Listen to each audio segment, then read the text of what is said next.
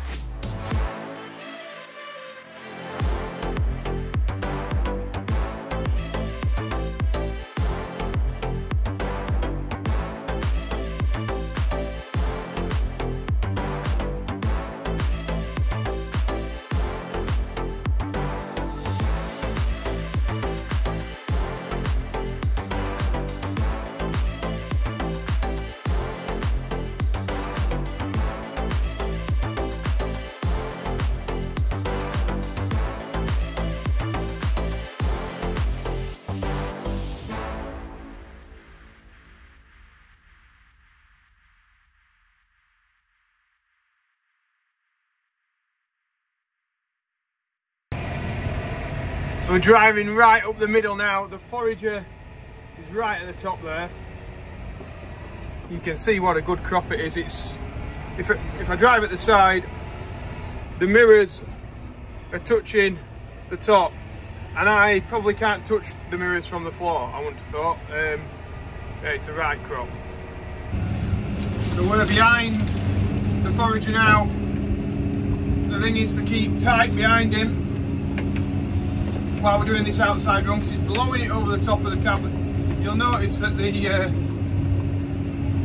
the cab is literally covered in um, maize now.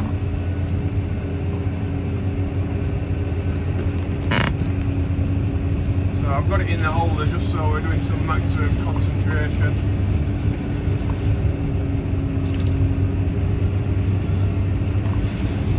if we were proper expert, we'd be um, we'd be backing up behind him with the trailer up. But yeah, how guys do that, I don't know. But yeah, that that would uh, that would be expertly done.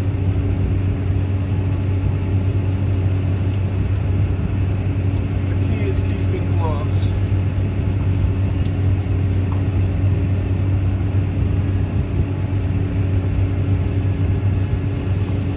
And that foot is hovering the brake at all times.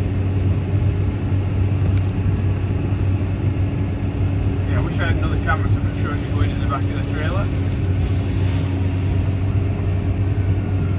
And we'll do a swoop round now. I think. No, we're not. We can't accept these little bits on the headland still.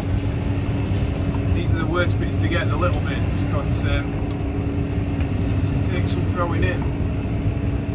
Right, I'm going to just follow his lead now. Not quite sure where we're going. Gonna turn around. Right, so we'll get alongside Mark. We're going to keep in line with his header.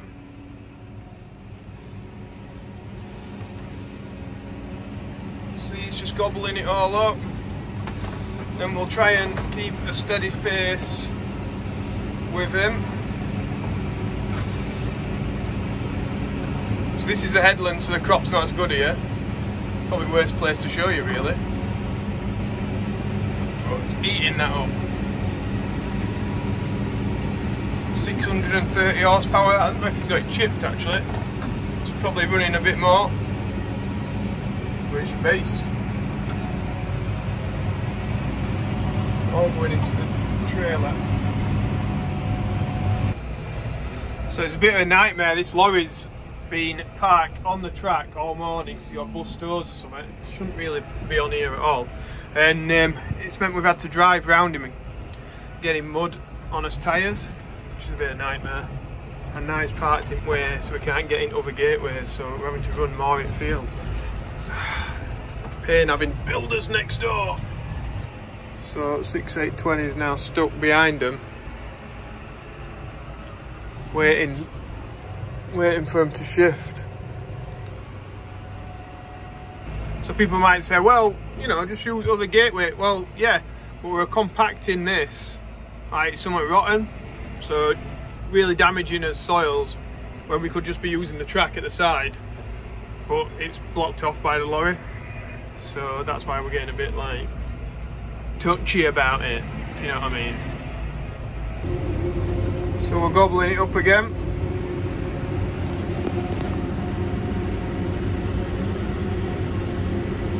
Going past bushes. So I'm actually the other side in a different field. Anyway, we've got another full load um, and we'll get out of here. He also needs some additives, so next thing you see, I'm going to be jumping on the TM, fetching him the um, IBC of water down and then we'll mix the additive and we'll get it into the back of the machine. So the additive is like a, I don't know what it is, it's a magical powder that goes in and I think it like um, ferments um, uh, it's expensive, I know that, but that's what I definitely do know. Um, yeah, it, uh, it like ferments it and um, I don't. Uh, yeah, I'm, I'm not going to try and explain what it does because I- I'm not really sure. I'll read the packaging. If it tells me any more on that, I'll tell you some more. The loads are coming in thick and oh, trying to get a, a good view on this. Thick and fast to these guys. You can see the clamps already building up though. Just keeps pushing on that Fendt. My dad's parked that in way. I need to get to the pallet tines that are behind it. Anyway, we got Andy here. So I'll just see what these are doing while I get the keys for the pickup. Dad's on top of the pit. We've got both weights on the 6.9. So that's just rolling it down, getting the air out of it.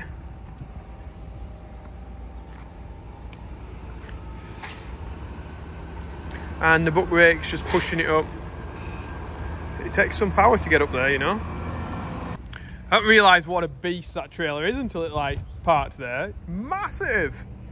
In fact, Michael from GCS Machinery hires massive trailers out like that. There we go. Can you hear it?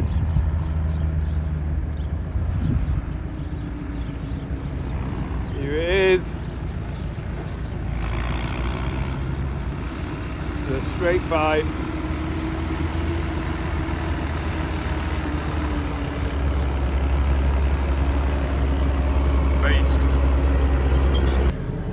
I'm ready to go to the field. We've got water on, um, additive, whisk, bucket, job done. Let's get on. So we're inside at Forager, Mark's whisking up. We'll tip that in the additive tank, and then we'll use this pipe to fill it up. So we've got the sprinkler system on. Mark's got his big black pipe. Right, so we're just going to put some water on this. Then I'm to come up with bucket brush. Oh, and brush it off. I mean, there's not... It'll be hard to clean up, to be honest, because it's that... There's hardly out there. So I'm trying to wet it like this to, um, to actually make it lift. And We'll try to see what we can do anyway. So I got back to the farm, got the bucket brush on, so we'll head up there and do that. Listen to the mighty T7. Emptying out. Tidy. So we're just sweeping it up now. The water makes it look worse. It was just dry before, I need the water to get it to come off. At least the lorry's going now, so we shouldn't have to we'll have a long run up, you see, to get the mud off. So, as I'm here, look what turns up. a road sweeper. So, I was sweeping this first, by the way, guys. Um, yeah, so somebody's obviously wrong, uh, about us. So he just put his hand up to me. Barnsley Council. If we hadn't had to circumnavigate that lorry that was parked on the lane here, you can see what the lane's like. Yes, it's got puddles, but it's all in hard standing. So, yeah, if the lorry hadn't brought down, we wouldn't have had to come through there. You can see what the field's like. That's dry. Like, we're not fetching any out, coming even coming up out of the uh, entrance. It's literally just churning up that, that fresh ground on the right there. So it's making a, uh, a job of it, but it's really difficult to come up because it's just dried on. Needs a good rain on it. Right, I'm back in the yard now, so we'll jump back on my uh, trailer. Look at this, the clamps. Almost to the front, we've only done one field. Um, yeah, it's going to be big this clamp, I can tell already. Right then, time to get back on it. So we're a little bit queued up in the field. I thought we'd just have a look at this T7 coming up here. Sorry about the wind, hopefully you can hear the noise.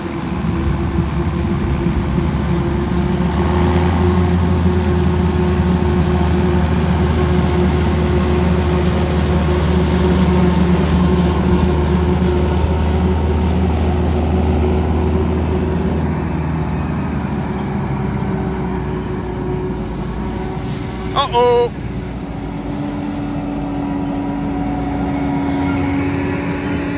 Mark. So I've just jumped in with Mark now. It's a bit it's a bit untidy in here, Mark. It needs mucking out, I think. I've no idea what way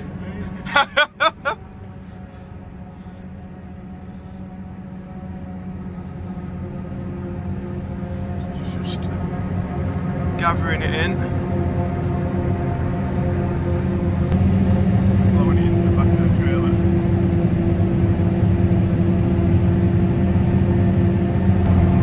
Even stop moving. That's why experts do it, that then, Mark, is it? no. So he lined up at the side of the other one and roof we were on it. Only thing is we will stop in a minute because I'll be holding job up. So how are you driving it then, Mark? Just keep forward and backwards, is it on that? Yeah, it drives exactly the same as a Fendt. So you pull it back, slows down, keep knocking it forward, speeds up. Ah. Do you have to alter like the cut height or anything? Or is that like yeah, pretty, pretty much on- preset? on screen. It has a potentiometers in either side for doing its like, know what you call it. Really. Tilt and uh, Tilt, height yeah, and all yeah, that. Yeah. Ah. 450 litres What, 450 litres of diesel? since yesterday. Since yes, jeez. So they go forward and backwards, don't they? End up running like backs it up or something. Yeah, I think it just empties, Empties out. clears itself, and then it's ready to go. So is it 630 horsepower this? It's supposed to be. Never really tested it. it's not something you can really test, is it?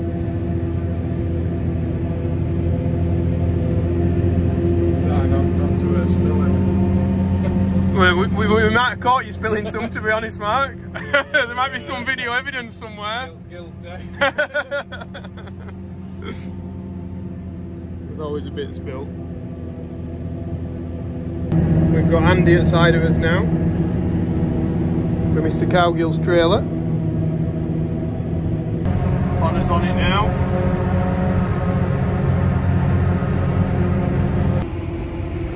It is a beast. Is that Krone?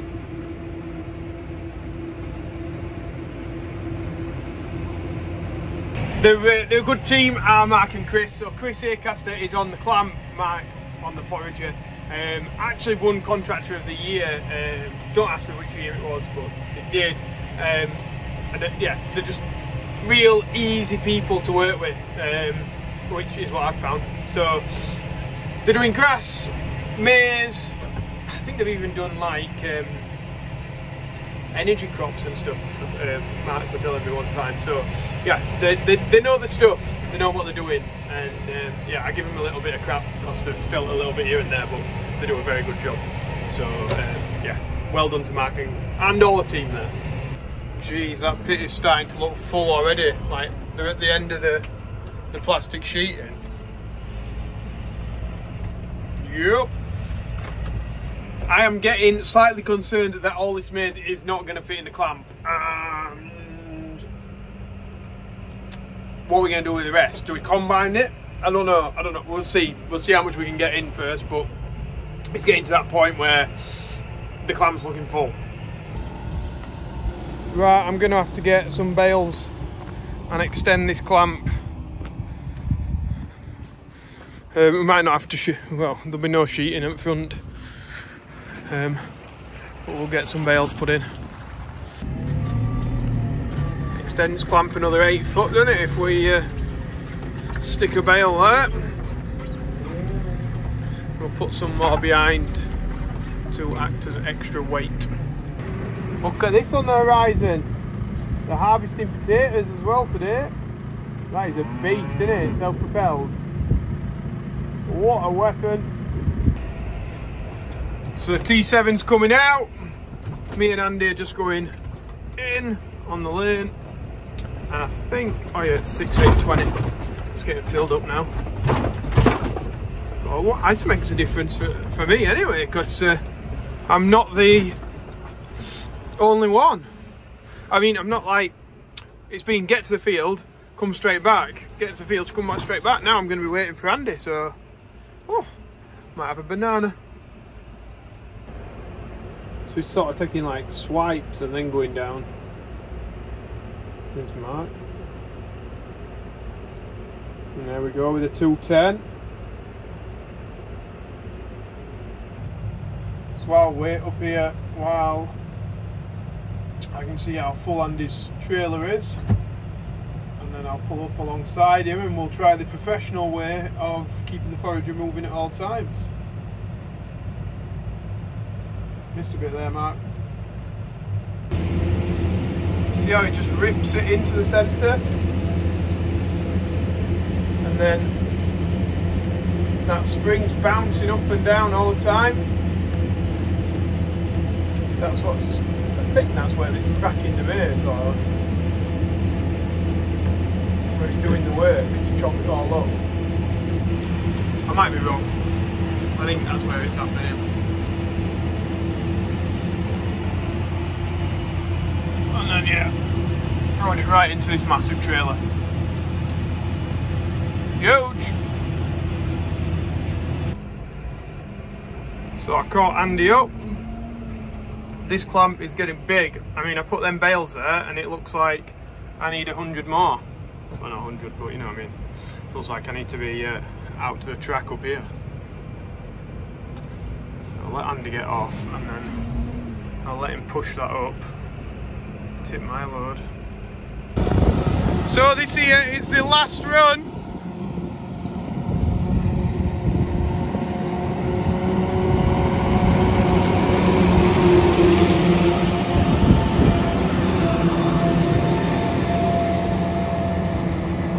I think that'll be upside down for everyone, won't it?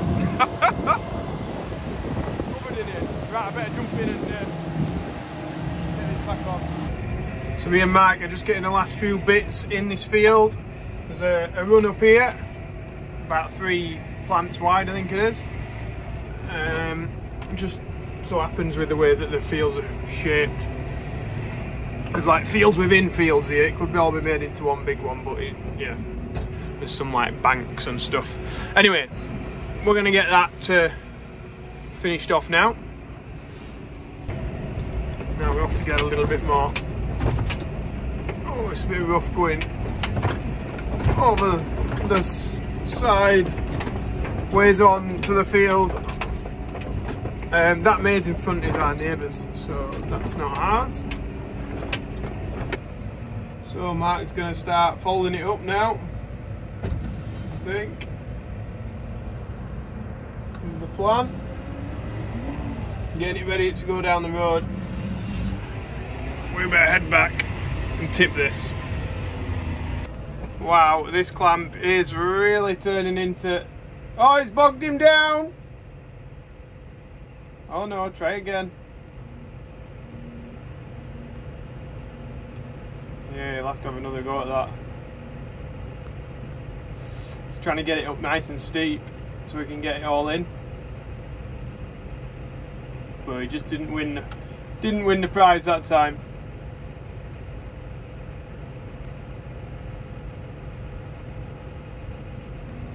And another go. Oh, yeah, he's doing it. Doing it. Job's a good one. So I'm just waiting now to tip my load off because we might as well let him uh, get into place. I got his mess up, Chris. Where's that seeing me? Chris is getting back on it now. I got it. I got you. Bogged down. we needed Chris on extra weight. That's what it was. Right, so we're having a bit of a fill up of diesel. Andy's going round feeding up. Right, it's getting windy. It's going to be hard for us to open out the next field. But I thought while we are filling this up with diesel and we're parked up, I'll get this. it's not going to be edited, let's face it. It's just going to be compiled together. Um, so I um, apologise if there's some long bits which get a bit boring or whatever. Then um, that was why, because I've not had to look time to look through it. We're just back on doing a maize harvest. We'll be doing that again tomorrow, um, finishing off then we'll have to sheet up. So if you want to press subscribe and press like for us, that would be fantastic. And that means that you will also get a notification of the um, next video or if we go live again tonight. So um, thanks everyone for watching. If anybody wants any of the merchandise, it's um. We've got the woolly hats in again, so you can uh, get them ready for winter. Um, that's about it. Thank you very much for watching. It's going to be a late night again. And yeah, that's it. Business. See you later, guys. Bye.